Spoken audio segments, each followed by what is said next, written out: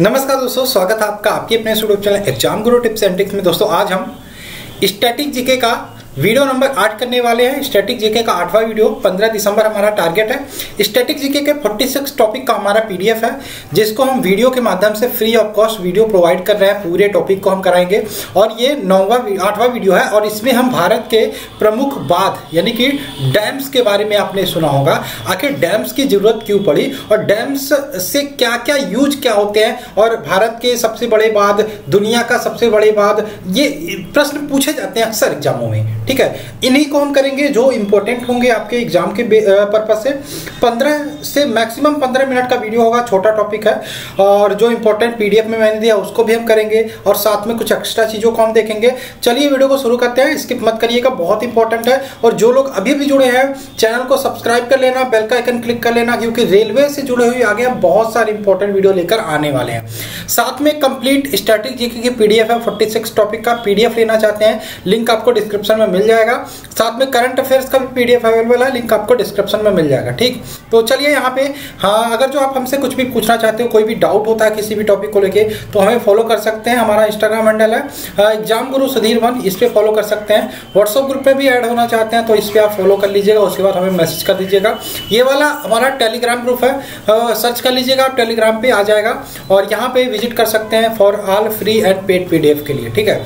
और सब्सक्राइब ज़रूर कर लीजिएगा। तो चलिए शुरू करते हैं। पहला ये टॉपिक है, भारत के प्रमुख बाग डैम्स ऑफ़ इंडिया तो सबसे इंपॉर्टेंट मैं यहाँ पे बताना चाहता हूँ, ये बाद जो शब्द आया, यानी कि डैम्स, इसको आखिर बनाने की ज़रूरत ही क्यों पड़ी? क्यों बनाने की ज़रूरत पड़ी? तो आपको यहाँ पे पता होगा, पहले बहुत से गाँव ऐसे होते थे, जहाँ पे नदियाँ नहीं होती थी। तो वहाँ पे सिंचाई की ज़रूरत होती थी। तो पहले बिजली का कुछ तो था नहीं। इसलिए पहले लोग सिंचाई के लिए नदियों के पानी को इकट्ठा करते थे, या फिर बारिश के पानी को इकट्ठा करते थे तो वहाँ पे वो बाद बनाते थे। तो कह सकते हैं, हम सिंचाई के लिए भी इसको इकट्ठा करते, इसका उपयोग करते हैं। फिर क्या किया? फिर बिजली की ज़रूरत पड़ी। फिर बिजली भी बनाने के लिए यहाँ पे हम डैम्स का डैम्स को बनाते हैं, ठीक है बाद को बनाते हैं। एक और चीज़, डैम्स दो प्रकार से बनते हैं। एक तो आप ध्यान रखिएगा, एक तो आपका हो गया कि नदी जो बह रही है, नदी के पानी को इकट्ठा करके उसको हम एक आकार दे देते हैं कि यहाँ से ऊंचाई से गिरेगी, यहाँ पे हम टरबाइन लगा देंगे। टरबाइन का कार्य क्या होता है? मैकेनिकल एनर्जी को इलेक्ट्रिकल एनर्जी में कन्वर्ट करना। ठीक है? तो यहाँ पे जब टर्बाइन घूमेगी तो बिजली बन जाएगी। एक तो हो गया नदी बह रही है, नदी बहते हुए नदी पर हम डैम बना देते हैं। एक तो हो गया हम पानी को इकट्ठा करके, बारिश के पानी को, या फिर कहीं कहीं पर भी पानी पानी को इकट्ठा करके हम पानी को ऊंचाई से गिराकर टरबाइन लगाकर हम वहाँ पे बिजली पैदा कर लेते हैं वहाँ पे डैम बना लेते हैं। तो यहाँ पे ये सारी चीज़ें क्लियर हो गया होगा। डैम का उपयोग क्या होता है? डैम बनाने की ज़रूरत क्यों पड़ी? इसको मैंने दो तीन लाइन में बता दिया आपको, ठीक है? अब यहाँ पे यहाँ पे पीडीएफ में क्या लिखा हम पढ़ लेते हैं। बाद एक अवरोध है। अवरोध मतलब बाध बनाने के लिए पानी को तो रोकोगे तो उसी को बोल रहा अवरोध है।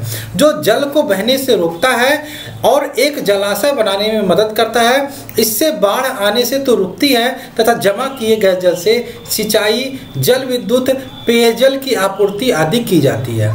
अब बाँध भी कई प्रकार के होते, एक तो गुरुत्व बाँध हो गया, एक तो तटबंध बाँध हो गया, एक तो चाप बाँध हो गया। देखो, हम तो पढ़ा देंगे आपको, लेकिन रिवीजन कैसे करोगे? रिवीजन करोगे आप पीडीएफ से रिवीजन करोगे आप अपने खुद के नोट्स से। पीडीएफ नहीं लेते हो तो कोई बात नहीं, आप कम से कम नोट्स तो बना सकते हैं वीडियो को देखे स्टैटिक जीके का फ्री कोर्स है, इस टाइप का कोर्स आपको कहीं नहीं मिलेगा फ्री में, ठीक? तो चलिए यहाँ पे आगे चलते हैं। अब हम बात कर लेते हैं सबसे पहले, दुनिया के डैम्स को हम नहीं देखेंगे। हमने बोला, दुनिया के डैम्स को हम नहीं पढ़ेंगे, हम भारत के बादों को पढ़ेंगे, लेकिन हम दुनिया का सबसे बड़ी जल विद्युत जो परियोजना उसको हम छोड़ नहीं सकते, क्योंकि ये आपके लिए एग्ज़ाम्पल में इंपॉर्टेंट हो सकता है। ये आपके लिए इंपॉर्टेंट हो सकता है, ठीक है? इंपॉर्टेंट हो सकता है, इसलिए हम नहीं छोड़ेंगे। तो दुनिया की सबसे बड़ी जल विद्युत परियोजना आपसे पूछा जाए एग्ज़ाम में तो आप आँख मूंद के लगा देना थ्री गॉर्जियस डैम ये काम कौन कर सकता है? ये काम चाइना के अलावा और कौन कर सकता है? चाइना के अलावा और कौन कर सकता है? तो चाइना में बना है दुनिया का सबसे बड़ा जल विद्युत परियोजना। नाम है three Gorges dam. Three Gorges dam, बात करें चीन की सबसे लंबी नदी, चीन की सबसे लंबी नदी यांगजी नदी पर बना है। यांगजी नदी पर बना है दुनिया का सबसे बड़ी जल विद्युत परियोजना चीन में यांगजी नदी पर और हुबोई प्रांत में। इसको ध्यान रखिएगा। अब इस बाद की बात करें। इंपॉर्टेंट क्या है? यहाँ पे सबसे बड़ा के सब तो अलग बात है। लेकिन ये जो बाद है बा, बाद है ना ये कितना बिजली पैदा करता है? तो बाईस हज़ार पाँच सौ मेगावाट। बहुत बड़ा ठीक है बहुत ज़्यादा। बाईस हज़ार पाँच सौ मेगावाट बिजली ये उत्पन्न करता है ये पैदा करता है। अभी कुछ दिन पहले ये खबर निकल के आई थी कि ये बाँध टूट सकता है। क्यों? रीजन यहाँ पे हुई प्रांत में बहुत दिनों से बारिश हो रही थी और ये बाद को देखो, बहुत बड़ा है। बाद बनाना बड़ी बात नहीं होती, लेकिन सेफ्टी मेजर्स होते हैं। वो नुकसान भी कर सकता है। आसपास के गाँव के लिए भी नुकसान। आप पानी को इकट्ठा करके रख तो सकते हो। लेकिन मान लीजिए कहीं से कुछ भी फॉल्ट हो जाता तो वो पानी जाएगा कहाँ? आसपास के लोगों को ही तो प्रभावित करेगा। तो ये सारी चीज़ें निकल के आती है। इसलिए बहुत सारे सेफ्टी मेजर्स होते हैं। ऐसे ही कुछ, कोई चीज़ें नहीं क्रिएट करते इंजीनियरिंग ठीक है, देखना पड़ता है। बहुत सारी सावधानियाँ बरतनी पड़ती है। तो ये है दुनिया का सबसे बड़ा इलेक्ट्रिक पावर प्रोजेक्ट ठीक है, जिसे बोलते हैं थ्री गॉर्जिस डैम चाइना के यांगजी नदी पर हुबोई प्रांत में है। अब इस बाँध को बनाने में कुल 18 साल लग गए थे। ध्यान रखिएगा, इतना बड़ा है कि 18 साल लग गए वो भी चाइना में। अब 18 साल चाइना में लग गया तो इंडिया में तो कम से कम तो सौ साल तो लगेंगे ही। इंडिया में अगर जो ये बात बना होता, प्रोजेक्ट आता तो सौ साल लगेगी, क्योंकि आपको पता है, इंडिया में एक साल का कोई प्रोजेक्ट होता तो वो भी दस साल लग जाते हैं। ठीक है तो चाइना में 18 साल लग गए तो सोच सकते हैं आप। और इसका निर्माण उन्नीस में शुरू हुआ था और 2012 में बनकर तैयार हुआ था। और 32 टर्बाइन कुल इसमें लगे हैं और 22,500 मेगावाट यह बिजली पैदा करता है ठीक? चीन की सबसे लंबी नदी यांगची नदी ये भी आपको ध्यान रखना है। तो ये हो गया आपका दुनिया का सबसे जो बड़ा जल विद्युत परियोजना इसके बारे में आपने देख लिया थ्री गॉर्जिस डैम पे। ठीक अब आते हैं हम भारत में। भारत में सबसे पहले हम टिहरी बात देखेंगे। टिहरी से अक्सर प्रश्न पूछे जाते हैं। हम अच्छा मतलब पीडीएफ से हम सारा देख लेंगे, लेकिन कुछ इंपॉर्टेंट है दो तीन इसको हम देख लेते हैं पहले। टिहरी बात इंपॉर्टेंट क्यों है? भारत का सबसे ऊँचा बात है। ध्यान रखिएगा, भारत का सबसे ऊँचा बात है। ऊँचा बात है टिहरी ऊंचाई इसकी 260 मीटर है। अब 260 कैसे पता? जो भी ऊंचाई मापी जाती है, वो समुद्र तल से मापी जाती है। समुद्र तल से टिहरी बाँध की ऊंचाई 260 मीटर है और यह भारत का सबसे ऊँचा बाँध है। क्लियर हो गया? कहाँ पे है? उत्तराखंड पे है। उत्तराखंड में किस नदी पर बना है? भागीरथी नदी पर बना है। ठीक, भागीरथी पर बना है। अब ये वाला फिगर आप देख सकते हैं। ये भागीरथी नदी है। ठीक है, ये तो रोड ट्रांसपोर्ट के लिए थोड़ा सा बनाया है। और यहाँ पे पानी को रोक के, और यहाँ से ये डैम बनाया गया है, यहाँ से पानी को गिराएँगे, नीचे टरबाइन लगाएँगे। टरबाइन का काम क्या होता है? इलेक्ट्रिक मैकेनिकल एनर्जी को इलेक्ट्रिकल एनर्जी में कन्वर्ट करना। टरबाइन घूमेगी तो इलेक्ट्रिकल एनर्जी बनेगी, उसका हम उपयोग कर लेंगे। ठीक? समझ में आया? कोई दिक्कत नहीं। टेरी बाग, भारत का सबसे ऊँचा बाग, ऊंचाई 260 मीटर और कहाँ पे है? उत्तराखंड में है। टेहरी ज़िले में ध्यान रखिएगा, टेहरी ज़िले में है। और किस नदी पर है? भागीरथी भागीरथी नदी पर। ठीक है? भागीरथी याद रखिएगा, दो नदियों वैसे है, एक गंगा नदी और भागीरथी। दूसरी, ध्यान रखिएगा, ठीक है? और यहाँ पे गंगा और भागीरथी के संगम पर बना है, ये भी कहते हैं, भिलांगना नदी जिसको बोलते हैं। और यहाँ पे ध्यान रखिएगा, यहाँ पे मैंने क्या पॉइंट बताया आपको? भारत का सबसे ऊँचा विशालकाय बाँध, ये भी ध्यान रखना है 260 मीटर ऊंचाई है। और टिहरी जो बाँध है ना, दुनिया का आठवां सबसे बड़ा बाँध है, ये भी आपको ध्यान रखना है। उपयोग कहाँ होता है? सिंचाई में, बिजली पैदा करने में। ये तो हो गया टिहरी बाँध की बात। अब हम आते हैं सरदार सरोवर बाँध। सरदार सरोवर बाँध की बात करें, संकल्पना 1960 में पंडित सरदार वल्लभ भाई पटेल ने रखी थी। ठीक है? ये महत्वाकांक्षी परियोजना थी सरदार वल्लभ भाई पटेल की और जवाहरलाल नेहरू ने इसको मूर्त रूप देने का प्रयास किया था 1960 में। लेकिन 1960 में भारत उन्नीस सौ सैंतालीस में आपको आज़ाद हुआ था, उसके बाद कई सारे प्रोजेक्ट पे काम कर रहा था, लेकिन बीच में ये सारे काम करने के लिए पैसे की ज़रूरत पड़ती है। और पैसा कौन देता है? World Bank. लेकिन बीच में बहुत सारे कंट्री, जैसे पाकिस्तान ही हो गया, बीच में कुछ ना कुछ अड़ंगा, टांग लड़ा देता था। ठीक है? तो इसलिए यहाँ पे पैसा नहीं मिल पाता था वर्ल्ड बैंक से। लोन नहीं मिल पाता था। इस कारण से चीज़ें हो नहीं पाती थी। ठीक है? तो सरदार वल्लभ भाई पटेल की महत्वाकांक्षी परियोजना थी सरदार सरोवर बाँध। अभी आपने देखा होगा करंट में नरेंद्र मोदी जी ने इसका उद्घाटन किया। अब आप सोचो 1960 में कोई प्रोजेक्ट यहाँ पे आ, मतलब संकल्पना की गई और दो यहाँ पे नरेंद्र मोदी ने उद्घाटन किया। सोचो कितना लंबा टाइम लग गया। ठीक है? तो जवाहरलाल नेहरू ने इसको मूर्त रूप देने का प्रयास किया लेकिन इस परियोजना हेतु कोई ठोस कदम नहीं उठाया गया। एक प्रकार का गुरुत्व बाँध है। कहाँ पे है सरदार सरोवर बाँध? नर्मदा नदी पर बना है। ठीक है, गुजरात के नौ गाँव के पास स्थित है। तो सरदार सरोवर बाँध कहाँ पे है? किस स्टेट में है? गुजरात में है। किस नदी पर है? नर्मदा नदी पर है। किस गाँव में है? गुजरात के नौ गाँव में है। ठीक है, एक प्रकार का कैसा बाँध है? गुरुत्व बाँध है। चार राज्यों को यह बिजली की आपूर्ति करती है। चार राज्यों को बिजली और पानी दोनों की आपूर्ति करती है। गुजरात, मध्य प्रदेश, महाराष्ट्र और और राजस्थान। ठीक? क्लियर आगे कुछ देख ले। ठीक है? आप यहाँ पे चीज़ें पढ़ लीजिएगा। नर्मदा दक्षिण पश्चिम मालवा पठार के बाद एक लंबे गार्ज का निर्माण करती है। इस गार्ज का विस्तार गुजरात तक है, जहाँ सरदार सरोवर बाद का निर्माण किया गया है। अब सरदार सरोवर बाद ये तो हो गया। और यहाँ पे देखें, ये 1980 देखो यहाँ पे 1980 के आसपास विश्व बैंक से सहायता से देखो 1960 में संकल्पना की गई 1980 में वर्ल्ड बैंक से जब लोन मिला तो इस पर काम प्रारंभ हुआ। और आपने कुछ टाइम पहले आपने सुना होगा नर्मदा नदी को लेकर नर्मदा बचाओ आंदोलन प्रारंभ हुआ था। तो लोगों की समस्याएँ हो जाती हैं, लोगों की प्रॉब्लम्स हो जाती है अगर जो ये भूमि अधिग्रहण अपनी समझते होंगे। अब कहीं पे भी डैम बनाया जा रहा है तो आसपास के लोगों को थोड़ा सा डर मन में बैठ जाता है कि डैम बना रहा है, पानी को रोका जाएगा, भूमि लिया जाएगा, ये किया जाएगा। तो इससे हो सकता है नदी को भी नुकसान हो। हमको भी नुकसान हो, मान लो डैम का कुछ खतरा हो गया तो इससे लोगों की चिंताएँ बढ़ जाती है। इस कारण यहाँ पे नर्मदा बचाओ आंदोलन प्रारंभ हुआ था। तो ये हो गया सरदार सरोवर बाँध के बारे में, ठीक? यहाँ पे देख सकते हैं, ये फिगर है नरेंद्र मोदी जी। ये सरदार सरोवर बाँध है, इस पर टहल रहे हैं, उद्घाटन किया था जब। आगे बढ़े, हम हीराकुंड बाँध की बात कर लेते हैं। हीराकुंड बाँध, उड़ीसा नदी, उड़ीसा में स्थित है। कहाँ पे है? हम हीराकुंड बाँध की बात करें। उड़ीसा में है। उड़ीसा में है। और क्या इंपॉर्टेंट है? किस नदी पर है? महानदी पर। ये ज़्यादातर पूछा जाता है, किस नदी पर है? महानदी पर है हीराकुंड बाँध ठीक है? और क्या इंपॉर्टेंट है? भारत का सबसे लंबा बाँध है, ठीक? भारत का सबसे लंबा बाँध। ये फिगर देख सकते हैं आप, हीराकुंड डैम का, ठीक? ये फिगर देख सकते हैं। एक लंबाई की बात करें तो 26 किलोमीटर लगभग इसकी कुल लंबाई है, पच्चीस दशमलव आठ किलोमीटर, ध्यान रखिएगा 26 लगभग। हीराकुंड झील एशिया की सबसे बड़ी मानव निर्मित झील है, इसको भी आपको ध्यान रखना है। उड़ीसा में है, महानदी पर एक प्रकार का बाँध है। ठीक, आगे चलें चलें, परमिशन है आपकी, समझ में आ रहा है, याद हो रहा है, कमेंट करके बता देना, नया सब्सक्राइब कर देना, वीडियो पसंद है शेयर कर देना फ्री ऑफ़ कॉस्ट मिल रहा कोई दिक्कत नहीं घबराने की, पूरे टॉपिक को हम देखेंगे, ठीक। अब आइए जो चीज़ें थी हमने बता दिया। ठीक है, एक और चीज़ मैं बता देना चाहता हूँ, यहाँ पे थोड़ा सा लिख लीजिएगा, जगह यहाँ पे। मैं यहाँ पे बता देता हूँ, यूपी में नहीं है। खैर, ठीक है, मैं यहाँ पे बताता हूँ। ठीक है, यहाँ पे आप लिख लीजिएगा अगर जो नोट्स बना रहे हो, ठीक है। कहाँ गया?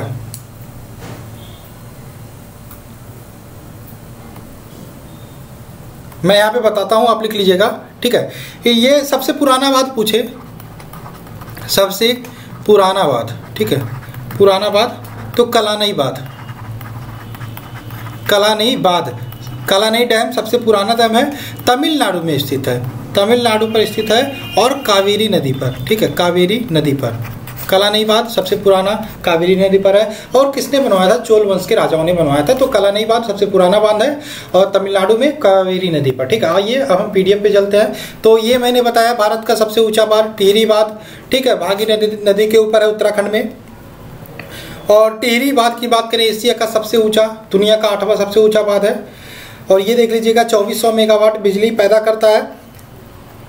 सरदार सरोवर बाँध के बारे में मैंने बात की। ये भारत का सबसे बड़ा और दुनिया का सबसे बड़ा सॉरी, दुनिया का दूसरा सबसे बड़ा बाँध ये बनाया गया था, ये सरदार सरोवर बाँध। और गुजरात के वडोदरा ज़िले में स्थित है, ध्यान रखिएगा, सरदार ये नर्मदा नदी पर। और यहाँ पे दुनिया का सबसे लंबे बांधों में हीराकुंड बाँध है, जो उड़ीसा के संबलपुर में है। लंबा बाँध नहीं है दुनिया का, लेकिन उसमें आता है। ठीक है? महानदी पर की बात करें, ये जो हीराकुंड बाँध है, ये किस नदी पर है? ये हमारा है महानदी पर। ये क्लियर हो गया? आगे बढ़ें। 26 किलोमीटर लगभग है महानदी पर जो हीराकुंड बाँध है। तो अब हम आते हैं उत्तर प्रदेश के कुछ डैम्स देख लेते हैं। उत्तर प्रदेश के कुछ प्रमुख बांधों को हम देख लेते हैं। सबसे पहले हम देखेंगे उत्तर प्रदेश में रामगंगा डैम। रामगंगा नदी पर है। कहाँ पे है? रामगंगा बाँध जो रामगंगा नदी पर है। गोविंद वल्लभ पंत सागर ये जो बाँध है, पहले इसका रिहंद बाँध था, अब इसका गोविंद वल्लभ पंत सागर बाँध है। रिहंद नदी पर बना है, कहाँ पे है? पिपरी सोनभद्र में। तो सोनभद्र में है गोविंद वल्लभ पंत सागर बाँध। चंद्र प्रभा बाँध की बात करें तो चंद्र प्रभा नदी पर स्थित है चंदौली में। ये आपका क्लियर होगा स्क्रीनशॉट ले लीजिएगा। माता टीला बाँध की बात करें, बेतवा उत्तर प्रदेश को हम अच्छे से देख लेना थोड़ा थोड़ा सा। ये माता टीला बाँध बेतवा नदी पर झांसी में स्थित है, ठीक? झांसी में स्थित है। अगर जो हम बात करें कन्हार बात की, ये आपका कन्हार में स्थित है सॉरी कन्हार नदी पर स्थित है, सोनभद्र में। और सोनभद्र में देख सकते हैं आप, एक तो गोविंद वल्लभ पंत सागर है और आपका एक है कन्हार और कन्हर नदी पर है आपका कन्हर और गोविंद वल्लभ सागर वल्लभ पंत सागर की बात करें, ये रिहन नदी पर है। झांसी में परीक्षा बाँध है बेतवा नदी पर और माता टीला बाँध है, ये भी आपका बेतवा नदी पर है, दोनों झांसी में है, ठीक? अब हम आते हैं आगे। अब हम अपने पीडीएफ पे आते हैं। इसमें जल्दी जल्दी देख लेते हैं कहाँ पे कौन कौन से बाँध हैं। तो सबसे पहले हम देखते हैं टिहरी बाँध की। टिहरी बाँध जैसा कि मैंने बताया, भारत का सबसे ऊँचा बाँध 260 मीटर ऊँचा है और भागीरथी नदी पर उत्तराखंड में है। तो टिहरी बाँध भागीरथी नदी पर है उत्तराखंड में। ठीक? ठीक? प्रताप नगर उत्तराखंड में। भांगड़ाबाद की बात करें तो भांगड़ा जो बात है, सतलुज नदी पर है। बिलासपुर, हिमाचल प्रदेश में अक्सर यहाँ से पूछा जाता है कि इस नदी पर स्थित है। ठीक है, कहाँ पे स्थित है? सरदार सरोवर बाँध आपका नर्मदा नदी पर है, आपका राजपीपला गुजरात में है। देखो, इससे बाहर कुछ भी नहीं आएगा। डैम से प्रश्न आता है तो इससे बाहर कुछ भी नहीं आएगा, लिख के रख लो। याद कर लो आ जाएगा, प्रश्न फंस जाएगा आपका घबराने की ज़रूरत नहीं है। नागार्जुन बाँध की बात करें, ये आपका कृष्णा नदी पर है, कहाँ पे है? आंध्र प्रदेश में। नागार्जुन बाँध कृष्णा नदी पर है, कहाँ पे है आपका आंध्र प्रदेश में? लखवार बाँध की बात करें, लखवार डैम जो है, यमुना नदी पर है, कहाँ पे? देहरादून, उत्तराखंड में। आगे चले, इडुक्की बाँध इडुक्की बाँध की बात करें, आपका केरल में पड़ता है, ये पेरिया नदी पर है। पेरिया नदी पर इडुक्की बाँध है केरल में। रामगंगा डैम के बारे में हमने बात किया। रामगंगा नदी पर है, उत्तराखंड में। कोयनाबाद बहुत इंपॉर्टेंट कोयना नदी पर है महाराष्ट्र में। महाराष्ट्र में कोयनाबाद है, जो कोयना नदी पर है। अलमाटीबाद की बात करें, ये कृष्णा नदी पर है, कहाँ पे? कर्नाटका में। मेट्टूरबाद। मेट्टूरबाद ध्यान रखिएगा, कावेरी नदी पर, तमिलनाडु में। तमिलनाडु में एक और है, अमरावती डैम। अमरावती नदी पर है, ये अमरावती डैम, तमिलनाडु में। मैथान मैथानबाद की बात करें, बड़ाकर नदी। बड़ाकर नदी पर बना है, ये झारखंड में है। रंजीत सागर बाद आपका रावी नदी पर है, पंजाब में। बगलिहार बात की बात करें, बगलिहार डैम है जो चेनाब नदी पर बना है रामबाड़ जम्मू कश्मीर में। चेमेराई बात की बात करें, चेमेराई डैम जो है, वो रावी नदी पर बना है। ये आपका हिमाचल प्रदेश में करजन डैम की बात करें, ये आपका करजन नदी पर बना है गुजरात में। सुपाबाद, सुपा डैम की बात करें, काली नदी पर है, कर्नाटक में, ठीक है। और यहाँ पे देखें, नगी बात जो है, नगी नदी पर है बिहार में। तो एक बार तेज़ी से हम रिवीजन करते हैं। तेज़ी से रिवीजन करते हैं। टहरी बाद आपका भांगड़ा नदी पर है प्रताप नगर में। प्रताप नगर ध्यान रखिएगा, उत्तराखंड में आता है। ठीक है भांगड़ा नदी पर भांगड़ाबाद की बात करें, सतलज नदी पर बिलासपुर में है, यानी कि हिमाचल प्रदेश। सरदार सरोवर बाँध की बात करें, नर्मदा नदी राजपीपला गुजरात में, नागार्जुन सागर बाँध की बात करें, कृष्णा नदी आंध्र प्रदेश में लखवार बाँध की बात करें, यमुना नदी पर है यह आपका उत्तराखंड में है। इडुक्की बाँध पेरिया नदी केरल में, रामगंगा बाँध ठीक है, रामगंगा नदी उत्तराखंड में कोयनाबाद की बात करें, कोयना नदी महाराष्ट्र में, अलमाटी अलमाटीबाद की बात करें, ये कृष्णा नदी पर है, कर्नाटक में मेट्टूर मेट्टूरबाद की बात करें कायरी नदी पर है, तमिलनाडु में, अमरावती डैम की बात करें, अमरावती नदी तमिलनाडु में स्थित है मैथान मैथानबाद की बात करें, बड़ाकर नदी झारखंड में स्थित है ये रंजीत सागर डैम की बात करें, ये आपका रावी नदी पर है, पंजाब में बगलियार डैम की बात करें चेनाब नदी पर है, ये आपका जम्मू एंड कश्मीर में पड़ता है, और चेमेराई डैम की बात करें तो ये रावी नदी पर है हिमाचल प्रदेश में। करजन डैम की बात करें तो ये करजन नदी पर है गुजरात में। सुपा डैम की बात करें, ये काली नदी पर है कर्नाटक में। और नगी डैम की बात करें तो ये नगी नदी है, आपका बिहार में। तो आशा है आपको ये वीडियो समझ में आए कि सारे टॉपिक अच्छे लगे होंगे। थोड़ा टाइम लगा तो मज़ा आया अच्छा लगा तो इंस्टा पे फॉलो कर लेना। टेलीग्राम ग्रुप ज़रूर ज्वाइन करना विज़िट करना वेबसाइट फॉर फ्री एंड बहुत सारे पीड पी के लिए पीडीएफ ज़रूर बाई कर लेना, ठीक है? पी डी बाई करोगे, मुझे भी थोड़ा सा सपोर्ट मिलेगा। इतना मेहनत कर रहा हूँ वीडियो आपको फ्री ऑफ़ कॉस्ट दे रहा हूँ। नहीं आप ले सकते तो कोई दिक्कत नहीं, आप नोट्स बनाइए नोट्स भी आपका काम आएगा, ठीक है? तो चलिए, मिलते हैं नेक्स्ट वीडियो में। जय दोस्तों, जय भारत।